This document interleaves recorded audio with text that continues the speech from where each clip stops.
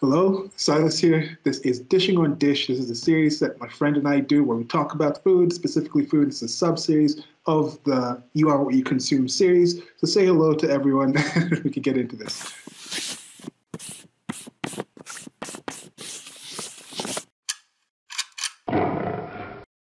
Good afternoon, everybody. I hope you're well. Hopefully, the weather's better where you are than it is here. It's pretty muggy in the city here, 60 degrees and kind of bleak. and Stephen is in the city. you say your name. It's my friend Stephen. He's in the city. That's right. This is the city because it's the city, the city, the Big Apple, New York City. He's in that place. And with this series, specifically with the Dish on Dish series, we've had one other person come on for part of the house. No, that's not even up yet, so I shouldn't even talk about that. We don't talk about that, Stephen and I, because we're, we're, a bit ornery about that. But we had a guest come on to talk about uh, one of those one of the restaurants that we've been to. But Stephen is a bit of a gourmand. He's also human foie gras. He's hunting around New York City and going to eventually spread out to the rest of the world and hunt down all the foie gras dishes that are possibly there to be had. But he goes to different restaurants and then he comes back and he tells us about the food. He sends me a document I sometimes read the document ahead of time. This time I haven't read the document ahead of time, but just go in. I read certain dishes, then he tells me what the actual food is about and things like that. He has a history in the food service industry, so he's very well versed in these things. We both enjoy cooking and food and things like that. And that's just what this general series is about. We've done about how many restaurants now, Stephen? Like eight, eight, nine? Somewhere around there, yeah, I'd have to go back and count. Yeah. Yep. Maybe more, but this is probably going to be part 19, but it's part 19. We say that. No, it can't be 19. It can't be 19. Dish and dish. Could it be 19? No, it's not 19. I think it's like 17 was the food. We actually we might have done I don't know. We've done a lot, but yeah. many of those have different parts. This one's going to be much shorter because he just recently went out to a restaurant and he posted some really amazing pictures. It's like, okay, really, most of the pictures he posts amazing. He goes to really good restaurants. Let's just admit that. But the series is relatively long. We've had those and we plan on continuing to do these. Um, today we're going to be talking about the restaurant Intersect by Lexus. And uh, the way we do this is I ask, we have an intro when we're starting in a new restaurant like we are today, where I ask him about the place and the content and then uh, some different things about it. So we'll start off right now. Stephen, could you tell us a bit about the place and maybe you could throw in things about the location as well, where it actually is located in New York? So this is kind of an interesting, it's, um, it's it's a higher end restaurant. It's actually owned by Lexus, the car company. If you go there, you'll actually you'll actually see Le- Lexus uh, icons and there's some decor and everything that's Lexus themed. There's two parts to this restaurant. It's located uh, 14th Street. It's kind of near um, kind of near Chelsea Market, like in that sort of area. I'm trying to think of the streets, like Gansevoort, that kind of area. Um, there's two there's two parts of the restaurant. There's a lounge where it's it's a bar and there's small plates and there's the fine dining, the dining room. I took Andrea, aka Libertarian Wife, out for an early birthday dinner. Originally, uh, her birthday is actually Christmas Eve, but you know that's gonna be tough because you know yeah. I'm going to see yeah I'm going to see my parents. She's going to Florida, so I figured okay since we usually get dinner once a week, I figured just you know take her out one of these preceding days. I wanted to go it's to also the, Christmas. yeah, yeah. For a lot of restaurants, you got to book ahead of time for some of these if you're in somewhere like the United States of America, right? Yeah, I mean in New York thing, City. I mean. And, and, the thing is, the thing is too. I wanted to take her to the fine dining, but the the issue is at this time of year it's so busy because restaurants are pretty much booked solid up until January or so. So it's one of those things like if I went by myself at like five o'clock on a Monday or something, I could probably get in, but she's usually only free like eight or nine o'clock at night. And especially like middle later of the week, it's like it's not going to happen unless someone happens to cancel and you happen to get in in time, or something. But um, the lounge is open and I, I saw they had some really cool looking small plates. I figured, okay, we'll go there. And then next month, month when things uh, die down a little bit, we can go to the fine dining. Yep. And the way I found out about this place, it's kind of interesting. It was actually uh, via Instagram. Um, you know, because I follow a lot of restaurant pages, I guess their their page starts showing up as recommended, and then I, I I followed the page and I thought it was some really cool stuff, and then um you know I really liked what they had to. I really liked what they were posting. I wanted to go there, and then I also spoke to our friend Rose, and Rose spoke very highly of it. And Rose has very some would say picky, some would say discerning taste. So I thought, well, if she if if she spoke very highly of it, I mean, let's give it a shot. And I thought, you know, I thought, okay, let's why don't I take her here for you know her birthday? Yeah. Wow, that's a great looking building. It's yeah. Uh, it's really yeah. appealing. I mean, what time did you go? I'm seeing here the cover on the website. It's it's at night. It's very lit up in a really interesting, yeah. alluring kind of way. We went we went at about we went at about nine o'clock. Yeah. Okay, so I'm, I'm trying to see here. That's a cool thing. I guess I was wondering, like, by Lexus, I probably is a Lexus. When you just throw that name Lexus out there, I'm amazing. It actually would be the Lexus thing. And here I'm just checking on the Wikipedia. It says Lexus is a luxury vehicle division of the Japanese automaker Toyota, and the Lexus brand is marketed uh, in more than 70 countries and territories worldwide, and it's Japan's largest selling make of premium cars. It is ranked among the 10 largest Japanese uh, global brands and markets. So I'm trying to see. Uh, let's see if they have a restaurant. Um, no, restaurant. Okay, it's not here. The restaurant doesn't come up in the Wikipedia page, but it, is it could is it could it, are you sure it's all ran ran by them? Was it kind of like a thing, maybe some kind of sponsorship type of thing, or you kind of just put your name out there? But these kind of companies like Toyota, with a company that big, many of these companies no longer really just focus on one thing. They'll have some connection to some other field and something like that. There's the amount of money that's coming through some of these massive companies. They normally diversify their portfolio in some, some kinds of ways in their interests. So uh, yeah, do you do you know if if it's actually in there? I, I don't know the details. My sense is it's probably what you're getting at of like, okay, we want to open a restaurant, so we'll we'll sponsor some chef, we'll give them all this money, a place and everything, but then in return, our name has to be mentioned and they have to advertise the brand. That's probably what it is. That'd be my guess. Um, I, I I, learned maybe a year or so ago that Armani also actually has a restaurant, which is interesting. Okay. It's near it's near it's near uh, Trump Tower. Rose spoke highly of that place too. I thought about going. The thing is though, I held back at the time for two reasons. One, it's a little pricey, and two, the menu is very similar to Felidia, and it's like I see mm-hmm. this stuff. I see this stuff. All, I was seeing this stuff like all day, every day. So I'm like, I'm not really interested in eating it out on my days off. Um, but she spoke very highly of it. She said the service there is great too. So maybe sometime in the future I'll head over there too. Yeah. Okay. Yeah. Uh, was it at the wrong? I think this was a problem. I think I was, I was. It might have been at the wrong website. It might have been at the at the car website. I was at Discover Lexus, and the cover of Discover Lexus it has an Intersect restaurant. So that just shows that I think what is it going on? I think it had the Intersect restaurant at the cover, but let's actually go to the Intersect NYC restaurant. Yeah, Intersect by Lexus. Now here we're at the restaurant. So now can you tell us a bit about the interior, the tables, and the ambiance that was in there? Yeah, it has. You can if you see the picture. I think you probably see the picture as well. It's a very mm-hmm. modern decor. No white tablecloths. The lounge where we sat, it's like these um these black tables. I don't know what that is. If that's marble or what the material is, but you know, you sit on couches. There's candles. Um, the bathroom was very interesting. I thought how there were um there was this big like communal kind of sink, but then there were these automated um soap dispensers, but they were actually they looked like bottles, but the bottles themselves were automated. I thought that was very interesting. And then there's a staircase leading up to the main dining room. Of course, that's similar to the downstairs, but of course, no couches. It's more tables and everything. Um, again, very modern, like marble countertops, these nice pillars, all this. Uh, it's it's definitely going for a more modern look. Like it's not it's not like per se or somewhere where it's the white tablecloths and very you know um, I'm not gonna say I'm not. I don't know if I would say passe because some places still do that and make it work. But like, I think for the type of, but like, but I think for the type of place that this is, like, it would be kind of weird. Yeah. okay, and um, now can you tell us a bit about the menu in the actual restaurant as I try to get to it and see what they have to say here? Sure. So for the lounge, it's it's a um, it's like an izakaya menu. So it's um, it's small, it's small plates. It's basically it's basically um, you can do temaki. There's a few temaki rolls which we ordered. Temaki is a hand roll. Basically, it's a piece of nori that's sort of open. There's rice and there's a thing on top of it. You just grab it, roll it up, and eat it. Uh, there's yakitori, that's the skewers. There's a few other little small plates. Like there's like these higher end sliders. And then there's two desserts. The fine dining, of course, is more intricate. Like you have more composed plates.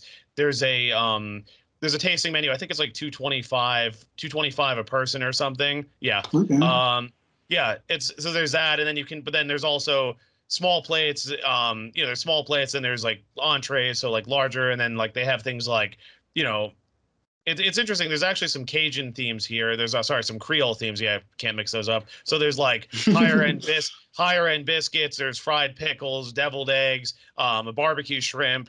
Uh, let's see here, West African peanut soup. But it's like it's like a it's like a refined versions of this because I guess this chef is from uh, New Orleans, so pretty cool. Yeah. Yeah, uh, it, it, looks pretty nice, and um, seeing it's it's on the Michelin list here. Yeah. Okay, so uh, what, can just give us a, a, quick, a quick little rundown for people. People probably have heard of the Michelin. That just what we're talking about again, different companies that are involved in different things. Maybe just the connection of the tire company also involved. So the tire company gives Toyota the tires for the vehicles and Lexus, and then now is related. So just give us a quick overview of what the Michelin kind of system is for those who might not be familiar with it. Sure. So the Michelin guide started as a travel guide. I mean, I think everyone knows the Michelin man. That's famous icon by this point. And basically, because they were a travel company, they wanted to devise a guide uh, to recommend high-end restaurants. So what it is is they came up with a with ratings. It's one through three, one being the lowest, three being the highest, and basically it's it's how worthwhile is this place that you should go out of your way to eat at. So like I forget exactly what they say, but something like one is like worth a detour, two is like you know worth more going out of the way for three is worth a, a special journey just to go here because the the yeah. food is that exceptional basically and it's a little i feel like it's a little different now because you know traveling's easier and all this but it's still considered like the king of ratings and if you get three michelin stars i mean that's that's as high as you can go aside from maybe multiple james beard awards so in new york city i'm trying to think i think there's like six places or so with three stars and mm. as far as two stars it's like 40 something and then one stars it's probably like 50 or something. So if you get if you get three stars, I mean, you know, that's that's a, that's incredibly rare. And uh, you know, one of my heroes, Thomas Keller, he's the only American chef to get two places that each have three stars, which is you know, I mean, uh, every anyone else who has that is French, pretty much. So that says a lot. and there is something that you're, you're mentioning yeah. that still kind of is it's carrying on that ethos of the whole destination type restaurants where now like french laundry is probably one of the more famous uh, top is french laundry three stars it one is it one star no it's three is it two yeah, stars french, I mean? French no, French, la- star, right? French Laundry and Per Se are both three stars. That's how Keller okay. has that. Yeah. yeah. Oh, yeah. So yeah, that's who you're, talk- you're talking about. Yeah, so Per Se. Yeah. Okay. So Per Se is that one. So that's you see with that now they're starting to do a thing where you don't necessarily have to go to the big city anymore. Now those restaurants are trying to do that whole thing where it's like this is just a town. This is it's a restaurant where you actually go to the town where the French Laundry is, and you actually go there. Just it's pretty much the only the, the biggest thing in town. I'm sure other people live around that area and have typical other jobs, plumbers and other things. But that's actually something where people can go out of the way to do something like that. And I think it's it's a positive thing that that this is happening. Um, what do you think about that? Well, it's, it's interesting too because I see it actually expanded to Miami, which is recently, which I think is kind of interesting because the concern is that in some of these other cities, the debate is the debate with the Michelin guide. I think that they've been having is is it worthwhile expanding to some of these cities because they don't have enough of a population to justify these higher end restaurants. But because Miami has really been growing over the last few years and there's several high end restaurants there, I think there could be some that would get I think they may even have one or two that could get three star, and there's probably a few that could get two star, and definitely several that could get one. So I think it's ultimately good because it'll draw more people there, and plus it'll put pressure on, or maybe maybe not pressure, but it'll motivate people to come up with better things, and that'll ultimately that could lead to better um better a better restaurant scene. Now I know in cities like Boston. Um, they've actually said they they haven't come there because they said the demographics in Boston and the small size, it's not enough to support these kinds of restaurants. Because you figure New York, it's what the city itself is like. Immediate area is what like 10 million people or something. I should know. 20 million. It's like 20, it's well, well, 20 million. 20 when you 20 count mi- the Connecticut, uh, yeah. Jersey, uh, PA yeah. type of connection area. I think it's yeah. But Boston, Boston proper, the population's only like half a million or something. So it's like you yeah. can't, you you don't have. I mean, you do have people with money there, obviously, but you don't have enough tourism and people with money where you can support places like Per Se, Daniel, or whatever. So like the place I worked at in Boston, um, it's closed now, unfortunately, but they they they were predicting if they got any ratings it'd probably be one maybe two stars but you probably wouldn't see a place like per se up there just because it's you don't have the com the foot traffic, money there, tourism, etc. for it. Yeah. So it's the kind of thing where a chef won't go there because the effort won't won't necessarily pay back their actual ability to get to that point. I, I, I like I, that's that's not necessarily a negative thing, but I think it, it might change. Like you said, as, as travel becomes a thing where, where it becomes more more common for people to travel, people might want a better, different work life balance. People might figure out different ways because I can imagine that's happening. There's already rather decent restaurants. They not, might not be in the Michelin Guide type of thing that are starting to expand, and especially now post uh, post pestilence of unspoken of origin, people are starting to now leave certain areas. So money might start being out. People might start organizing different kind of ways because many of these restaurants, these bigger restaurants who were living, existing in the cities, they had to shut down sometimes for over a year. We talked about this in several other parts of this uh, Your We Consume series, just talking about certain restaurants that just shut down, top restaurants as well. Some haven't really opened up back up again, but they've already start, started setting up the system of having people say, okay, ahead of time, I'm going to actually come in and actually order this. I'm actually going to say, I'm going to come in at this time and come to the restaurant. Or now they might be more used to that. Some, some of you might say, okay, now I might move to, um, I'm trying to think of like a, I'm trying to think of like a city in the, I might move to like Tennessee or something. Now it's not going to be a lot of people in Tennessee, but there's a lot of there's an international airport. There's a lot of people coming in and out from Tennessee, that kind of area. There's still some things coming up. So just have a situation where you're working maybe less, you're not working as long, you're working maybe limited days out of the week. The rest of the time, maybe you're teaching or doing some other things, just having some regular quality of life. And that way, the food can still be delivered to you. People can still book ahead of time. And there might be something that might open up with something like that.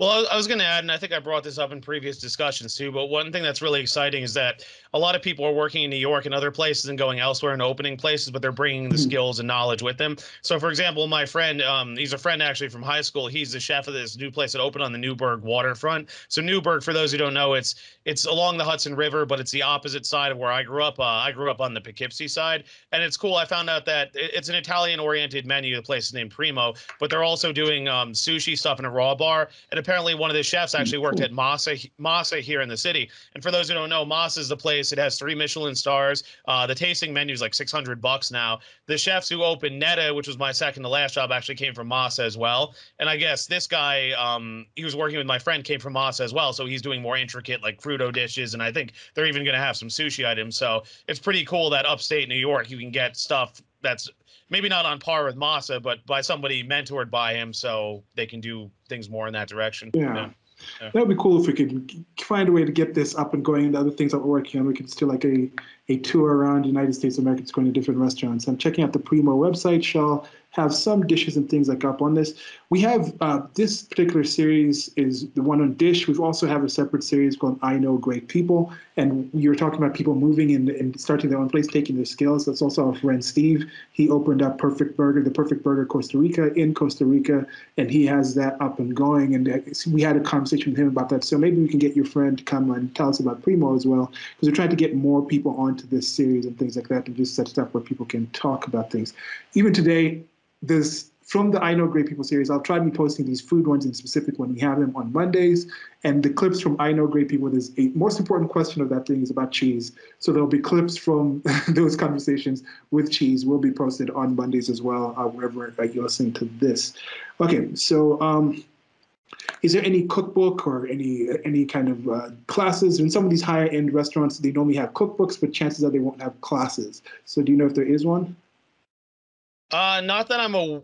I'm trying to actually wait. I'm trying to think if I saw cookbook advertised, but if I did, it was like very briefly. I'd have to go back and check. Uh, I mean, usually I notice that thing, but I've I've only been here once and I haven't followed them too closely. So um, it's worth looking into though. I mean, I definitely would be interested if so, because you have because you have both um because you have both um like the, the sushi the izakaya stuff downstairs and upstairs you have the creole stuff so um, I think it would be very interesting. Hmm. Yeah. So yeah, because that, that, that, that's an interesting mix. And yeah, you said they were borrowing some things from the. Of course, it's by Lexus is a Japanese company, so there is yeah. some relationship with that. And I wonder, this is I, again, this is this is something. How how old is this restaurant? Did you did you find out? I'd have to check. Actually, I think it's fairly newer because let me see here. Because let me see here. Because I'm wondering with stuff like this, like if it's that old, maybe it's a new thing that they're testing out. Now, when they test out something like this, maybe they might have some special deals. They're already in the tra- in the travel industry, so maybe they're using their own vehicles. So there's a discount in actual shipping. They could they could be ways to to uh, to kind of integrate certain industries in order to have a more a more successful more successful restaurant business. Because many businesses are really really high risk. Most businesses fail, but restaurants is another one that's very very tight margins. So maybe you have something like this, this could be one of the different future ways that restaurants and food are going to be kind of organized. It be something interesting. I see. I don't know if you saw it on the page here, but there's also um, they have an event space upstairs too, which is pretty interesting. So you could have an event there if you wanted as well. And then there's yeah. stuff here about there's other locations. There's one in Dubai and there's one in Tokyo. So oh, uh, okay. yeah. So I guess I guess it's a similar concept. My sense is that they probably all have the izakaya sushi stuff, but then the the main dining room probably depends on the chef and their background and all this. So again, if you look at this menu, it's more the Creole stuff. Like if you're familiar with some of the New Orleans food, you'll recognize some of the dishes. Um, but then the downstairs, it's the Japanese stuff. So my sense is that's probably what they do, but I haven't checked out these other places yet. So I don't know. Yeah. yeah. All right. The taste of two Creoles. Yeah. Okay. So and now we're going to get into the food. That's been the intro, and with the food, our beautiful faces are going to go off the screen, and then the food is just going to be on the screen, and you'll be able to see that. Uh, getting to the point where we're trying to set up some live streaming thing, but once we get to that point, I think we're going to get a program or some kind of platform, test out some things where you can do this live. I'll do it live, I'll record it live. we're working on that, trying to improve this product, looking to mics and things like that. Okay, so uh, we'll just jump right into it. And this as you mentioned, Stephen, this was a birthday dinner. Some of the ones that we've had, especially like Seasonal, we had like a five-part one. He actually worked there. There was like a Michelin one-star restaurant, and he actually worked there. He had like we had a lot of dishes. It was five parts spread out on a, on a long thing. And then we open up yeah. the desserts or the aperitivos, appetizers, amuse-bouche, or whatever you want to call them. Then we get into the actual main uh, entrees and the main dish, and then we get to the desserts. But this one, it was a one sit down meal with, a friend, Andrea, who will be on this series once we finish recording that thing. Retting her out. She's the one who hasn't talked about this. But anyway, let's just jump into it. I'm going to read out the names, and he normally gives me some notes sometimes. It could be some notes, could be not, not, but then say the names, then he'll actually go and, and let us know what the actual dish is about. So uh, starting with the first one here, and we have wasabi peas.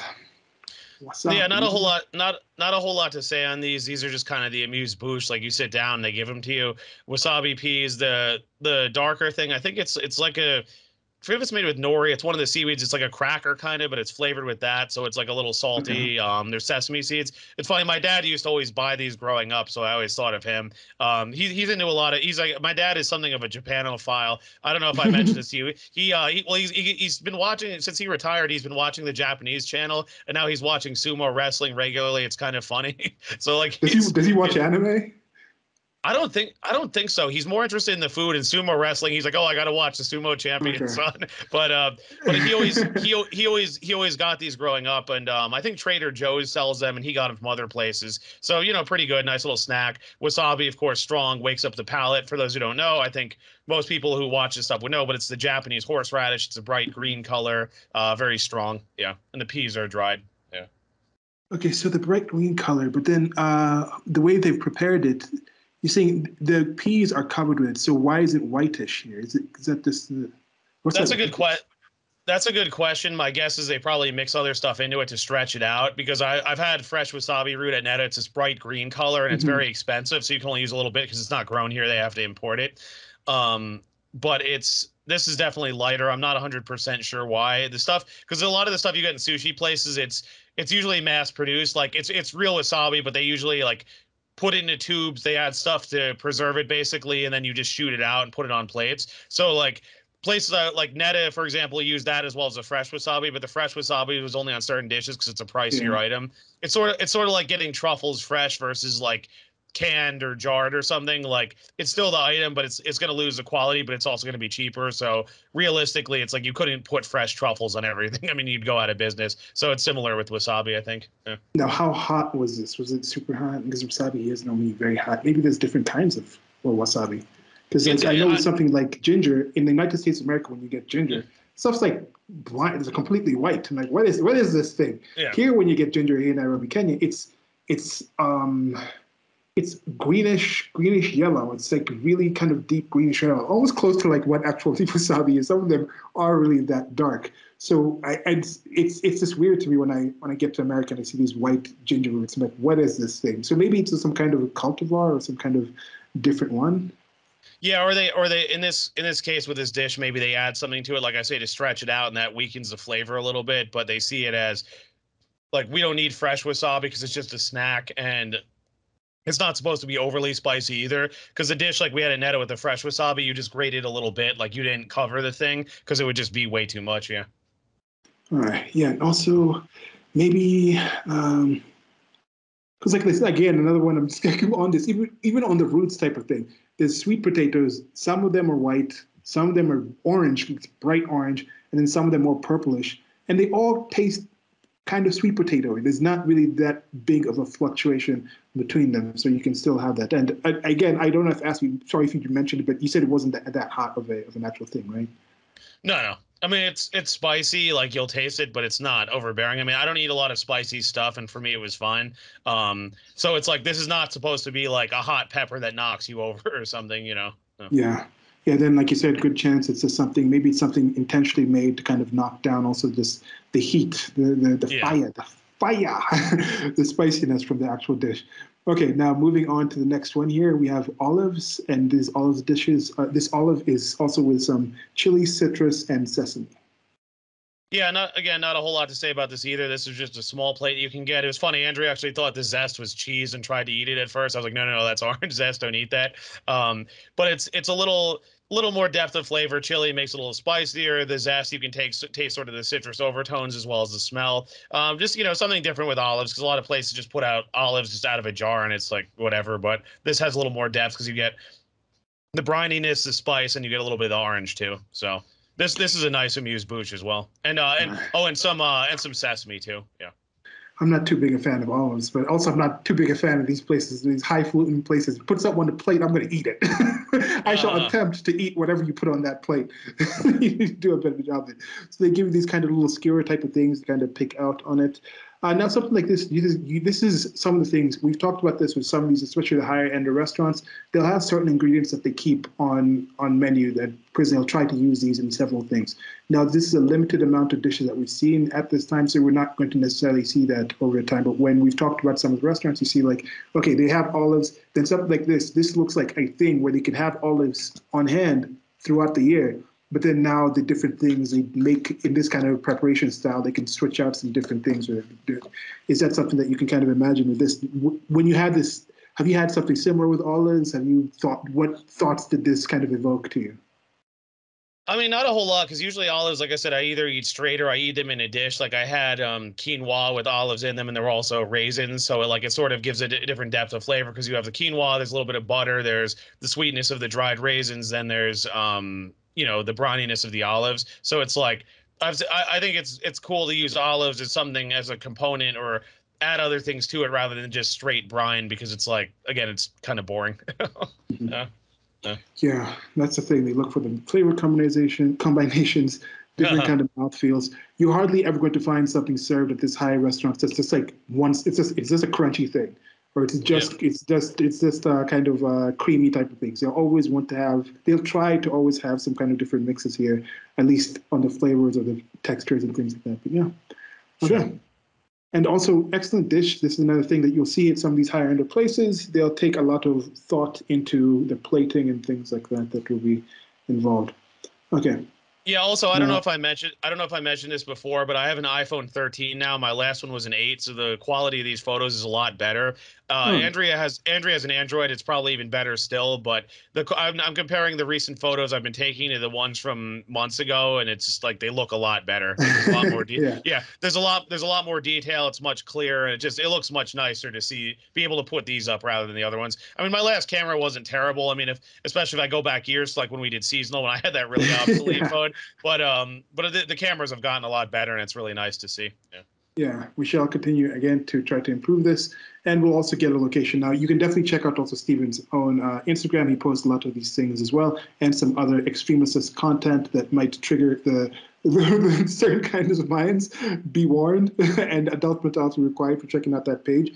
But yeah, he has that, and we, will we'll, we're looking into getting more of this. So we, will try to get some location where you can just go in and get just the pictures and other things like that, and start get links to actual dishes and things as we expand on this uh, platform and get other people joining us.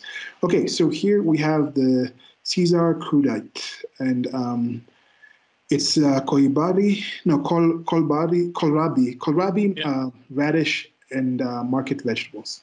So crudite. So it's it's kind of crudite. a play as you as you can kind of sell. It's it's kind of a play on Caesar salad. So the dressing is more Caesar. Mm. Um, it's that kind of flavor. My guess is instead of anchovies, there's probably fish sauce or something in it because it's you know an Asian. It's Asian inspired. Uh, obviously the vegetables here are on ice kohlrabi, for those who don't know, it translates. It comes from um, German. Kohl is another word for cabbage, and rabi is actually a Swiss German word for turnip. So it's a cross between a cabbage and turnip. That's where the name comes from. And of course, there's some uh, multicolored carrots here. There's um, peppers, radish, all this. Just kind of you know dip this into dip this into the dressing here and eat it. Just I guess it's like I don't know if deconstructed Caesar salad is the right comparison because I mean it's the dressing, but there's no croutons and stuff. But I guess like it's kind of inspired by that. So yeah. deconstructed Caesar salad. Yeah, because the crudite. The crudite could be crudite. Crudite. Crudite. Like, crudite could be crude, like kind of just raw or rough. So that could be something yeah. that's kind of a different term to go for the same kind of idea there. This is something that is gain, seems to be gaining popularity because people are trying different things. And now the market vegetables, the market vegetables can of course uh, switch around. So how how did y'all attack this dish? You just take a dish, you dip it in, and then you kind of uh, use your hands and, and finger type of finger food. Yeah, because that, that's where I was sort of saying the de- deconstructed. Because Caesar salad, typically, you t- when you serve a Caesar salad, you figure you toss the romaine in the dressing and then put it on the plate. Whereas this, it's separate. So the idea is you can just dip it in like however much or however little you want. I mean, just sort of that. Like I said, there's just there's no croutons, but I mean, and the well, and the vegetables have changed too, but it's similar idea. Yeah, interesting. And got some ice shavings in there to keep it chilled. Yeah. Um, yeah, I think yeah. we can jump on to the next one. Uh, wait, now we have. Oh, you didn't tell us about this, but you can, as as you tell us about this particular one, which is the cava. I've heard yep. this name before. I heard this word before. It's like kava. I drank this. okay, so can you tell us a bit about this? And also, we didn't talk about the drinks and the wine selection in wine. And I, I in the menu saw some cocktails and things like this. So tell us a bit about this and also the wine and drink selection at at the restaurant. Yeah, so they they actually had a pretty interesting list. They have um they had quite a few wines. Re- um, well, this was in the lounge. I don't know about. I'm sure the fine dining room probably has more stuff, but um they have a bunch of whites, a bunch of reds. They have uh some some stuff that's a little off the beaten path. Like they have some Basque wine. When we talked about Huertas, Huertas is a Basque themed place, so you have that you have those names written in that different dialect with the X's and stuff. I thought that was kind of interesting. They have a few sakes as well. I was debating on getting sake because I haven't had in a while. They only had like two of them though. Uh, but like I say, the lounge is more casual, so that makes sense. Um, I think they have like one or two beers, and of course they have like soda, or juice.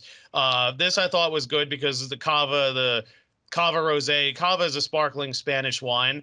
Um, there's typically um, three grapes that are used. It's the uh, my my Spanish isn't the best, but I think it's Macabeo, uh, Parellada, and uh, Haralo. Yeah, I'd, I'd, have to talk, but I think this, but basically it's it's one of those like it's white or red. Um, it's white or rosé typically. This one's rosé. I I got it personally because I thought it went well with like a lot of this food is not overly light or overly intense, so it's kind of that middle mm-hmm. of the road where it works with those. And um, it's just a very easy to drink wine. I thought it was nice. Um, people used to call it Spanish champagne, but there's been some pushback against that because you know it, it's not champagne, champagne, and you know so. yeah, they don't need to do that. That's yeah. that's a thing that I think people are becoming more well versed in things, calling things what they are. You you can't just identify things or whatever. You don't have to just know every every wine can't identify as champagne. Things are what they are, uh, according at least with some realistic people.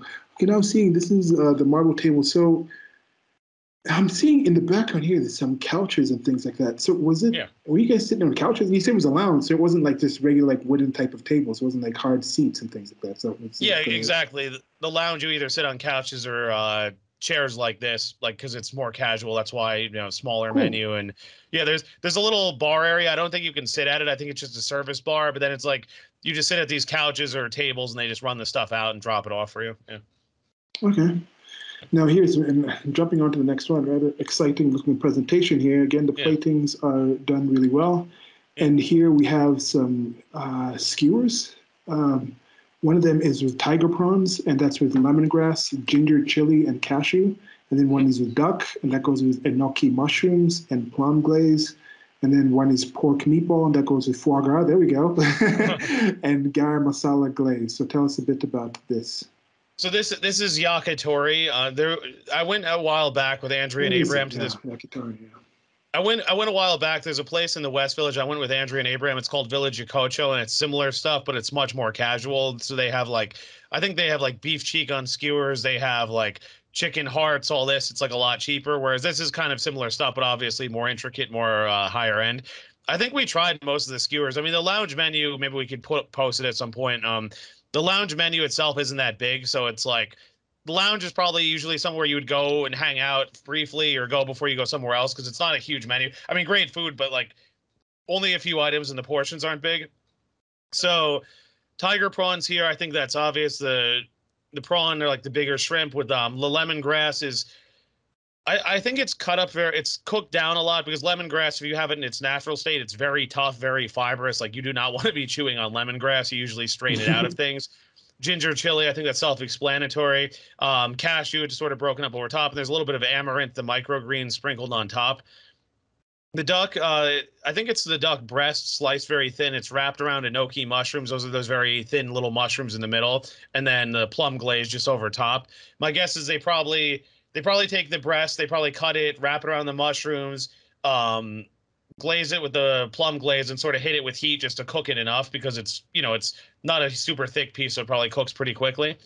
And then on the end here, I think you could tell uh, pork meatball, foie gras, thin little slices on top with a bunch of chives. And then garam marsala glaze, that's actually on the top of the foie gras. For those those who don't know, garam marsala, it's basically a Amazing. spice. Yeah, it's a spice blend. It's um it's from Southeast Asia, typically like India, Pakistan, Nepal, Bangladesh, Indian subcontinent, basically. Mm. And it's sort of, I think it's sort of like uh, curry or something where it's one of those like it it, it has like a typical composition, but like people swap out different things. So typically mm-hmm. it's like fennel, bay leaf, peppercorns, cloves, cinnamon, uh, mace, cumin, coriander, red chili, cardamom. But again, it's one of those things where like some people will take something out, add something else. They'll add more things. They'll take two things out, add something like it, it's. It, I remember a chef in school was saying it's almost like fried chicken. Like everyone has like their recipe, or you know, it's kind of like that. Yeah. So um, I'm not sure what was in this one, but you definitely taste some of those kinds of spices. So probably that yeah. category. Yeah with garam masala, yeah, that's that's a, it's relatively common here in Kenya because, of course, for those of people probably know, when uh, uh, Kenya was colonized by the British, they already had colonized uh, India, so they brought over a significant number of Indian people to kind of work with the locals and just work on different things. And after independence, those those Indians who were also here had been multi generational. They also became Kenyans. So, and then they still had the connection to the family. So there's a pipeline. Kenya has about 45 million people. Um, I would say about a million people of recent Indian origin. Some, a lot fewer, maybe 10% of those have come like later. But then multi, many of them are multi generational who consider themselves as Kenyan as any rando and more Negro Kenyan that you would actually find and meet. So yeah, that's mm. it's, it's with them. They've brought a lot of spices to spice up the. In in one thing I've noticed in part of the reason certain countries don't have developed a cuisine where it's just cooking, it's really hearty type of cooking. They just didn't get to the point of the time where they had enough of a civilization to go into certain kinds of preparations for certain things. Food was relatively abundant. You actually had access to certain food, or you didn't, or you were still in like the hunter-gatherer type of kind of situation. So you didn't have time to go in, and that's part of the you what you consume series, we've talked about how do how do dishes develop? How does something come to be something that's higher end cuisine versus just something that's just regular roughage? Because some of these things you see at these Michelin three stars, it, it, did start by just probably in many cases some woman just making some food, some mother making some food for the dish, and then slowly by slowly it just kind of gets upped, upped, upped, upped. Some of them, as we've mentioned, somebody was trying to preserve something in a specific way, and doing that preservation thing, they found a way to get some taste out of something, some flavor out of something that wasn't done before. That they kind of developed that and and work on that. Sure. But yeah. So with this yakitori, I'm also seeing here the enoki mushrooms. Definitely want to look up and see what that is. So with foie, how was the foie? Tell us a bit about the foie. Very good. Um, I thought it was interesting. It was a very small slice, which worked well for the portion here. Um, it just sort of it, it's it, it adds a different texture because you figure the meatballs, the meatball's a bit milder, the foie is a little fattier, so there's different textures going on. I think the foie is probably a little softer as well, and then the spice blend works well with both. Yeah, and then the chives on top. A lot of there were a lot of chives on top, but it actually worked pretty well. So I don't know. I, I think I mean chives look nice on the plate. I, I think some people overdo it, but I mean I, I think for the intense flavors here, it was it worked. You know. Yeah. yeah, this is one of the things when you read manga and watch anime, they, they do the food stuff a lot, but that's a common thing in books when you start getting certain things, even like the George R. R. Martin Not so much in actually Lord of the Rings. That might be something that's more recent. Maybe we need to read more Western type of uh, story stuff. But they don't do it in Western comic books. That's definitely something that isn't done anywhere close to as much as they'll do food in uh, manga. Even if it's not like the, even if the food's not about even something like a food manga, they'll just have like a manga and then it's like oh, this amazing kind of dish of it some of them go into specific like food wars. Some people might know about that. Toriko, it was like this gourmand wars with like these kind of powers and stuff like that. You have things like does this one in the dungeon? It's about like dungeon exploring, like a Dungeons and Dragon type of thing. But while they're going deep, dipping into the dungeons, they actually find different ingredients. Like they make like um, crazy they, they kill crazy animals and things like that like sphinxes and then they make some weird type of like high-end dish with like the sphinxes and the different mushrooms like talking walking mushrooms that they found and they actually put a recipe. So they use these fantastical creatures and ingredients but the recipes they actually list in the actual book are using actual real life goods that you can actually go out and actually make yourself. So this is a lot of kind of cool things that that's involved that. And speaking of mushrooms these enoki mushrooms are really cool looking i like the look of them. Yeah and I've mentioned it a few times, but that's what's interesting about the Redwall series because it's like these anthropomorphic animal uh, animals in kind of this mythical setting, but then the dishes are all like real dishes, and then they actually yeah. like they're based off classical English dishes, and they have recipes, which I thought I thought was kind of cool. So it's like you know here's here's root vegetable pie, here's kidney pie, but it's like oh yeah, those are things that people actually eat. yeah. Good stuff. And we will we'll focus and, and do that. To, might start looking into that. And I've taken some screen caps of things I actually want to try making. Might do a separate one where we come back. We have scheduled to talk about that book, and I'll I'll see if I can make a short listing of some things that I've seen in manga and things like that that we can also kind of talk and maybe test out eventually. Um, okay, so yeah. Yakitori. Okay, so um, moving on to the next one here, yep. and here we have an A5 Wagyu and uh, with mustard, crispy garlic, soy caramel temaki roll. Hmm. Sure. So for those who don't know, uh, Wagyu is a breed of cow. People mix up Kobe and Wagyu beef. Wagyu is the breed of cow. Then Kobe is the specific, the beef from the region, fed the specific diet, given the treatment, all that. That's the cow that gets the massage, the sake, the sake hops, okay. all that. It's sort of like champagne versus sparkling wine. Like, you know, all champagne is sparkling wine, but it's only champagne if it's from that region. These grapes made methode champenoise, all that. It's kind of like that. So uh, this is the, but this is the breed itself. But A5 is the highest grade there is, so there's the highest fat content. And it's really interesting because if you look at the beef when it's raw, it looks almost like charcuterie or something. Like there's so marbled all through. Yeah, it's so marbled all throughout. Um, It'll be on the screen mustard, right now for those of you watching the video version this is the temaki roll I was talking about. So I've also had maki rolls. I think temaki, the thing is that the difference is it's open like this, whereas the maki roll, it's just kind of like a hand roll that's rolled up, like usually in the shape of a cone. Um, soy caramel, I think that's self-explanatory. You know, it complements the beef. Crispy garlic, it's sliced very thin and fried. A little bit of mustard just to sort of offset it, so you have like, you know, you have the sugar, the salt, mustard, and then the beef, which is it's cooked all the way through, but super tender because of what it is. Yeah. Yeah. This is again and, and, very interesting. I've seen these kind of uh, triangular type of things they put here. I've seen them using it at like some taco places serving tacos. It's kind of um, different way to present some of these things. But now I can imagine this is one where they can also just switch things out, right? And uh, with these dishes, did, did, did y'all all have this? Was these things that you both shared? Did you taste both of them? Like, um, what's going so, on? So so the the duck we both like with the skewers we both wanted that. So we we got two orders of it but then like the foie and um, meatball that was me and then she wanted the prawn but it was like we each like had like a part of each of the other one. Um, and then let me see here. And then not the next roll but the one after that was her. I didn't get to try it. And then the desserts we just both shared because there's only two desserts and we figured like let's just get both and share them so. Okay. So now yeah the soy caramel. Um, you're saying soy caramel is straightforward. So I'm thinking they just do this regular thing of caramel where with caramel it's just it's milk, butter, and honey or sugar. Then you yeah. then you reduce it. So do they switch out this the milk with soy? Um my sense is they probably you probably what you do is you put some water in a pan that way the sugar doesn't burn but then it starts to like gradually it heats up enough that it browns and then instead of putting um it's a good question because usually the it's cream, the milk, milk, right? It's cream. Yeah, the cre- the cream usually sort of thins it out, and that's what keeps it from burning any further, as well as it gives it the texture. Um, I don't know that there was any dairy in this, and also you have to be careful because if you put if, if you melt if you melt sugar really hot like on its own and you put like liquid in it, it'll explode. so wow. my my sense is that they probably they probably do sugar. They probably do just enough water so it browns but doesn't get over the top, and then they probably add a little more water just to keep it from keep it sort of in that state. And they probably add a little bit of soy just to make it salty, and then they brush that over top. That'd be my guess. Yeah. Okay. Yeah. Cool, cool.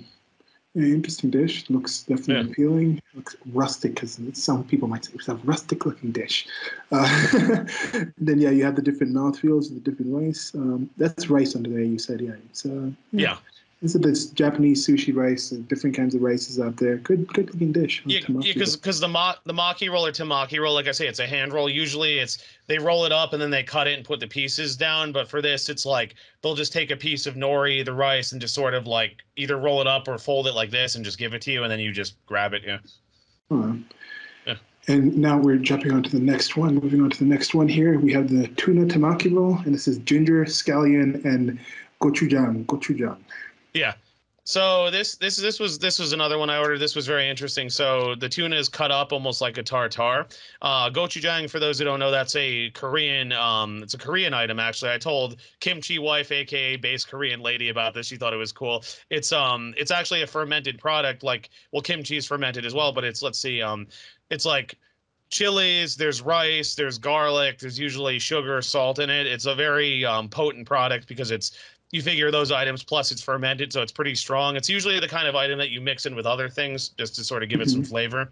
Um, and then scallion on top and then these were i think these were little rice puffs i'm not 100% sure. By the texture they seem like rice balls like you somehow work rice into like a sort of like you you work rice into almost this like starchy kind of like texture then i think you make little balls and dry them out and then that that's like a crunch when you bite into it. Yeah yeah, that looks it looks like a like a kind of a tomato paste here. Interesting. Yeah. So it's mixing it. That that those flavors probably would work well, really, yeah. really well together. Yeah. Yeah, I can imagine that. Because I think the gochujang is um it's strong enough, but tuna because it's a slightly richer fish, it sort of balances it well if you use a little bit. Whereas I think if you were to put it on like a white fish or something, it'd be too strong. Yeah. Yeah yeah, this this looks really good. I, yeah. I was like, so I have some canned tuna downstairs. We're gonna have for dinner later today. I'm like, ah, man, this, this, this looks a little better. it's just way uh-huh. better than that kind of canned tuna type. Of, yeah, yeah, uh, but yeah. Um, yeah, I love tuna. Personally, I love tuna either raw or rare. Like, I don't like. I mean, I don't like it well done. Like, I had this discussion with my father because I tried to serve him uh, rare tuna and he like freaked out. But he's very big on cooking. He's very big on cooking. But I, for me, I just like it because it's a much milder flavor and um if it's seared on the outside, it's nice. Like if you do like the blackening spices, like you can sear it on the outside and then it's like deep red and it's almost like steak or something. It's really nice. Yeah. Yeah, yeah. yeah tuna tuna is great. Tuna but I don't know. Um, hmm. I'm kind of thinking I would I would prefer to have a good piece of salmon over a good piece of tuna still, but maybe I I've, I've had a lot more salmon than I've had tuna, and that could just be eh, it, it it's it, maybe it's how the tuna has been prepared or the quality of the tuna. Whereas salmon, you can get re- relatively decent salmon regardless of where you get it from. And I, th- I think also I think the the certain certain French certain French uh, actor from Chicago who was mm-hmm. found guilty of certain felonies, certain French actor kind of convicted felon. I think when they went to Subway, I think people were kind of wondering like, what what what someone was like, I'm wondering what actual sandwich did you get? I think it was a tuna sandwich. We also think he was talking about it, like, okay, you need to get protein. Oh man, that that was a that was a crazy story. that guy, that guy, juicy sommelier. Okay. oh man. Anyway, moving. Such a ridiculous individual. okay. I'm sorry. I just recorded a long video going over what the people are saying. I'm still laughing just thinking about it. Oh man. Okay. This is homophobic. I don't care what you say.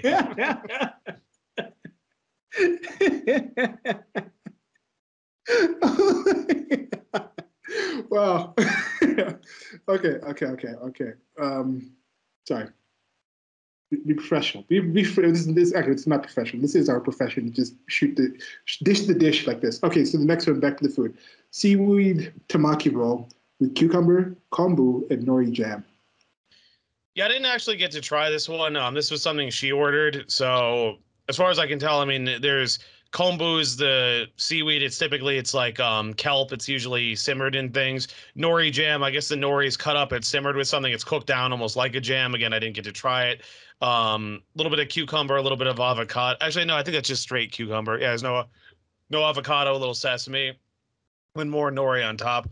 I didn't, I didn't, I didn't try any of it. I, I, mean, it didn't look super exciting to me. Maybe it was good, but I don't know. I don't know. I mean, I guess she seemed to enjoy it, so I can't really say. Yeah. The presentation, I mean, it definitely looks. It, it's, I mean, it's, it's, uh, it's, it's an interesting presentation. The kind of little nest above it and things like that. Yeah, yeah uh, this is nothing to do with kombucha at all. It's it's, it's a whole different thing. Uh, but kombucha is yeah, there's something rather so that kombucha is that that hot sauce that's kind of famous in the states, right? It's made Wait. in the made in California. Wait, kombucha? You the, mean the fer- kombucha, the drink, the fermented tea type of drink. type of Kombucha is a fermented drink, yeah. Oh yeah, what am I thinking? I'm thinking sriracha. Okay, sriracha is the, the hot sriracha, sauce. yeah. Yeah, so kombucha is yeah that fermented drink, and this has nothing to do with that, right? No, it has no. nothing to do with kombu if I'm not mistaken. But yeah, I'll be on the screen kombucha. And for the first time, I had one of my friends in New York City um, was had made her own. It was it's interesting. It's kind of like fermented cider of sorts and things like that. I think she had some apple. But yeah, well, so anything? Yeah, uh, what did Andrea say about it, if if anything? She seemed to like it. I mean, I didn't really ask much. Uh, I didn't really ask much more about it. I mean, like I said, it didn't excite me terribly. I mean, it's the kind of thing that like if someone offered to me it to me, I'd eat it, but it's like I wouldn't pick it off of, off of yeah, I wouldn't pick it off of a menu. Yeah. Okay. So on to the next one. This is now on to the desserts, and this is a Concord grape, uh, creme de cassis, foam, and hackberry compote, and uh, pop rocks. Hmm, pop rocks, like from the package, pop rocks. That yep, we used to say, yeah. drink with, with soda, you'd explode. The things, yeah. the things we used to believe. That's the thing. Realize some of just look in the past and imagine the things that you believed when you were a kid and then realize that people who might be of adult age are essentially children on like 99.99999% of the things. But even worse than children, they have those few things that they have their adult knowledge of to reinforce the fact that they think that they're correct about the things they believe. And that's why this certain French actor was actually still to this day believed for for his tuna subway sandwich kind of run at night. So tell us a bit about this dessert. Yeah, so I forget the name of this, but there's a Japanese dessert where it's like shredded ice and then the other stuff is on top of it and you sort of mix it together. So like think of something like a snow cone, except the ingredients are separate and you mix it together and eat it whole. Um, so the creme de cassis, for those who don't know, that's actually um, it's a liquor made from black currants. Um, so it's actually um, it's a foam made out of that. I'm not sure what else was in here. My sense is dairy and somehow it was aerated. Um, hackberry compote. I'd actually never tried hackberries before. They're kind of interesting. Um, they almost reminded me a little bit of like I don't know if I'm going to say a cross between grapes and blueberries, maybe like more in that direction, like kind of like round, like they're they're more round. They're not shaped like grapes, but then they have kind of like a thicker skin. Um, definitely sweeter. Um, so that's that's mixed in, and then there's uh, the pop rocks. The candy was actually on top, so as you eat it, you hear you feel it like you know popping in your mouth. Yeah, it's really interesting dessert. Um, she got she got the other one. I actually preferred uh I preferred this one to the other one, but um the other one's nice too. Yeah. Hmm. I think if I'm not mistaken, I could be wrong. I think the name of that thing is kakigori. And there's a there's a kakigori type of thing here where I've seen this again. I've seen definitely seen this in manga. When you said that, I've seen it in manga, and recently there's like Komi-san. Komi can't communicate new manga, and there's a scene where her and her father they they have issues talking and they go out to a restaurant and they have some kakigori and then so it's a, it's a nice it's a nice hearty moment. But this is definitely something that I have seen and occasionally when I get into my YouTube uh, rabbit holes, I just start clicking on food videos or going to different things. There's one where I did go to a lot where they actually did this. And one of the common ones is that one they have like some greenish type of stuff. I forget what the actual is. But yeah, kakigori is one name that I'm seeing with this. Um, yeah, Japanese summer is frozen desserts. They just put different kind of toppings on it, the shaved ice stuff type of thing. Yeah, no, this is something that again, I'm sure they can keep it on the menu and then just switch things around as the seasons change, right? Yeah. Um, there's there's only two desserts, like I said, so I figured we each get we each get one and just share. okay. So this uh, before we go, I just wanted to get the hackberry on the screen so I can see what the hell that hackberry looks like.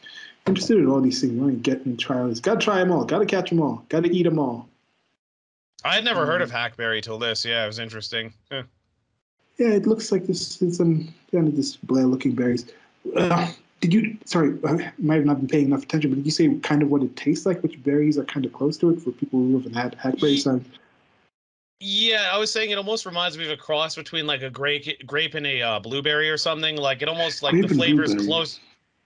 Like the flavor's closer to a blueberry, but it has that like thicker skin that you kind of chew on like a grape. Um, so okay. I don't know if I had.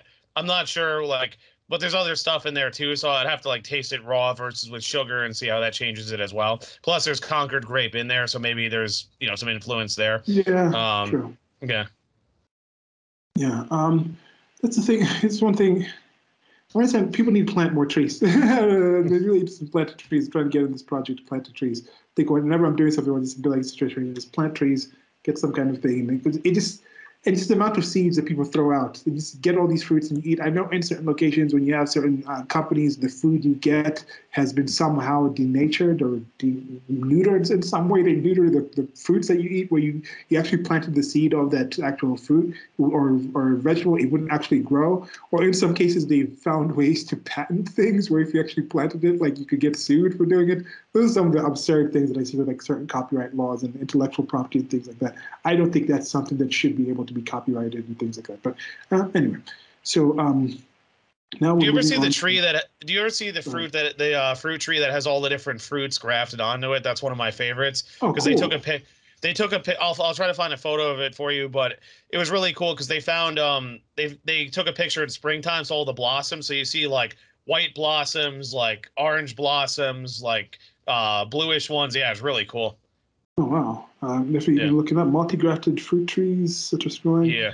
Let's see if you can see this. Uh, this might be like, some of the pictures. No, this one is completely wrong. See like a completely Photoshop thing that has like, what is this monstrosity? They have like bananas and like guavas and pears and like no bananas don't grow on trees like this. this doesn't work. Uh, I'm thinking, yeah, you, if you can find the picture, I'm thinking 40, uh, 40 knowledge tree of 40. So uh, we'll, I'll just, I'll just take a screen cap here. So this might be it, might not be it, but I see one here with like white, pink, dark red. But you'll send me that picture and we'll, we'll have it up on the screen because that sounds pretty freaking awesome. Well, at yeah, least you like, can definitely possibly do it with different strains. Like you can have like, uh, you can have like Granny Smith apples or like Pink Lady apples in the same apple tree. That'd probably be something that would be relatively, um, that wouldn't like, wouldn't reject it. Yeah. It's like I think like if you try to do like an orange and an apple tree, it would not work. But if you do yeah. like you like you say like similar apple trees, like maybe if you do like a few pear varieties, like maybe Bosc pear with Anjou pear or something like that. Yeah. Mm-hmm. Okay, now on to the last one, and uh, happy early. Yeah, this will be posted before her birthday, and happy birthday to you, Andrea. And this was a happy birthday dish for it. And this was passion fruit. Passion fruit, amazing. Love passion fruit. Love the smell of the fruit. Love the flower of the fruit. L U V, not like L O V E, because that term is overused. Gotta be specific with that. One of my pet peeves. And uh, okay, coconut yuzu foam, ginger, uh, kabosu, and uh, pineapple. That sounds yeah, like an amazing flavor combination. I mean, I don't know what the, the kabosu is, but ginger, coconut, and pineapple, those three things go really well together. Yeah, so I want to say too, they did a very nice job of after I made the reservation, I included, I said it's my friend's birthday, and they said, "What is your friend's name?" And when we when we arrived, this card was actually sitting on the table. Oh, wow. I thought that was that was a very nice touch. I thought, yeah, and all right, so yuzu, for those who don't know, Japanese lemon. I think of it as kind of a cross between lemon. It has kind of an evergreen element to it. Uh, kabosu is actually a similar one. It's a little different though. The yuzu, I want to say, is yellow in color. Kabosu is green. Um, flavor profile is fairly close ginger, and then um, there's actually there's fresh passion fruit in here. Like you actually get like the seeds and like the pieces of fruit as well as pineapple. Yeah, the the uh, pineapple I think it's candied or something. A similar thing. So it's sort of the inverse of what I had, whereas I had it was the ice and the stuff on top. This is the stuff at the bottom and ice on top. But both cases you just sort of mix it together. Um, this one was nice too. I prefer I preferred the one that I had, but I thought this was nice. A lot of really good flavors. Yeah. Okay, so I mean that that does sound delicious. I was I was just looking up for kabosu because I was I like getting some pictures up on the screen, and uh, that is the name of Doge of the Doge dog. the Doge dog yeah. for the memes that is the the that is the the mascot for Dogecoin. His name is Kabosu.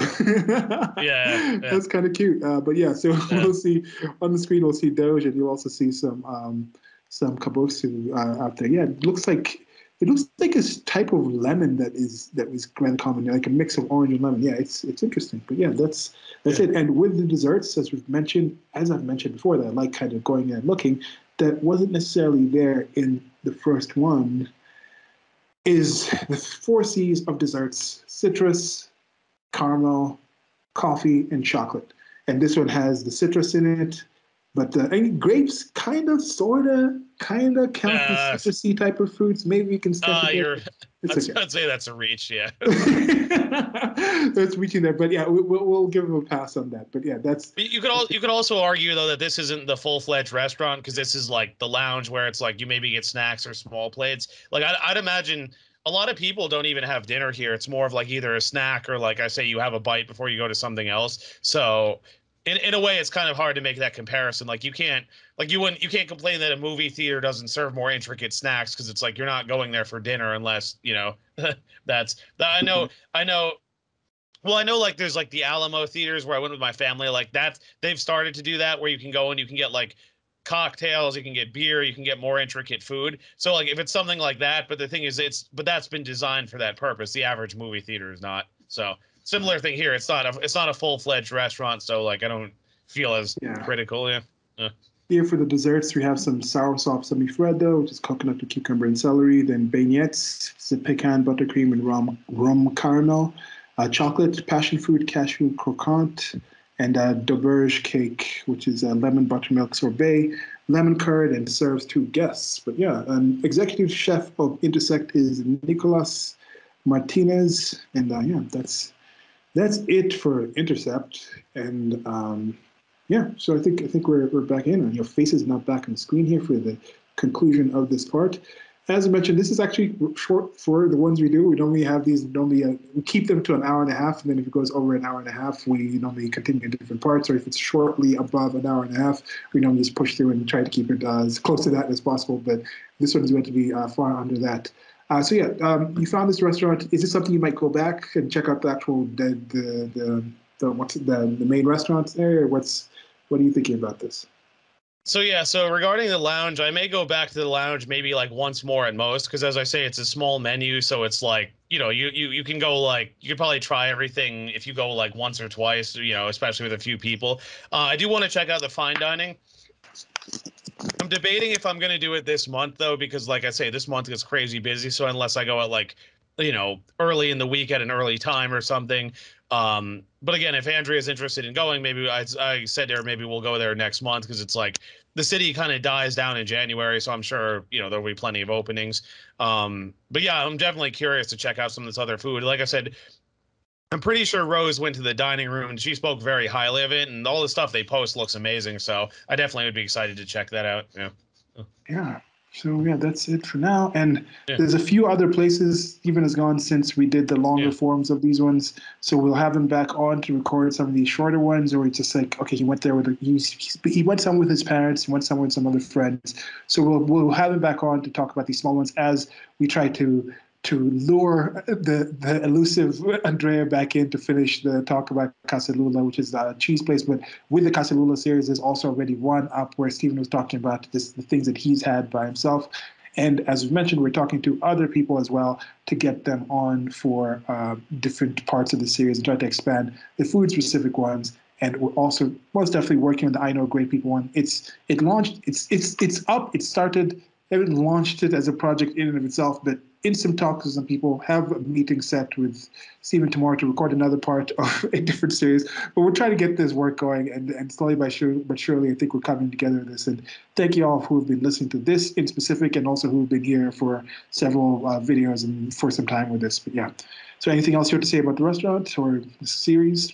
Not really a whole lot else. I went to I checked out a new very interesting Chinese spot yesterday, which I actually found out via Instagram as well. It was funny they actually liked some of my picks, and then I looked at their page and I thought, wow, this looks interesting. Let me check that out. So it's cool how Instagram is advertising this stuff and getting, you know, I mean, what if if they do the page as well, I definitely would entice people to come in. And I'm thinking about going to the Chinese place when my parents come next month. I went by myself once. I'll probably go again because it's very very reasonably priced. Like there's some pricey items, some more common, less more conventional items, and um you know, you don't have to spend that much money, but there's also a lot of really authentic stuff that you don't see in most Chinese restaurants. So I think cool. that that could be a future video as well. Uh, Minetta Tavern, I think I have enough for like a whole other full fledged presentation by now.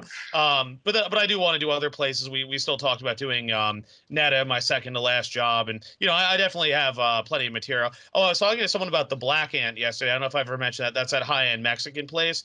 Um, They actually have black ants on guacamole, and they serve grasshoppers and stuff. Before. Yeah. I have some material from there. I may go back there as well. So if I go back again, maybe I'll do a presentation with all that stuff as well. So I definitely still have a bunch of ideas for food. Yep. Okay. So that's what's on the menu. That's what you can look forward to. And um, yeah, I think that's that's it for me on this part. Um, thank you all for listening, guys, gals, and everything else in between. Let us know if the specific restaurants that you've been to in the New York City area that you suggest Stephen check out, then you can go check out and let you know some things about that. If you, in particular, want to actually come on and talk about some things that you experienced, uh, let us know in the comment section. Let us know somewhere. I think we're going to start figuring out how to be open to that, figure out how to get more people into this whole thing. Uh, yeah, so you can say goodbye to the peoples. Bye. Thank you very much. All right. Goodbye.